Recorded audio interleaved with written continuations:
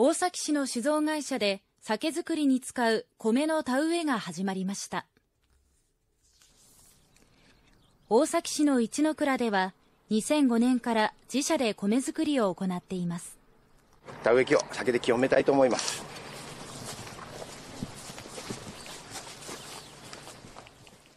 今日はおみきを田植え機にかけ安全と豊作を祈った後社員3人が早生品種の酒米山の雫を植えていきました。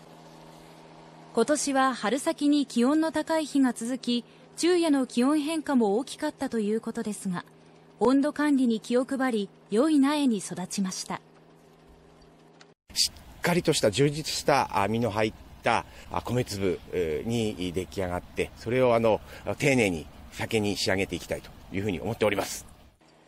この田んぼで育てられた稲は9月に刈り取られ新種の原料になります。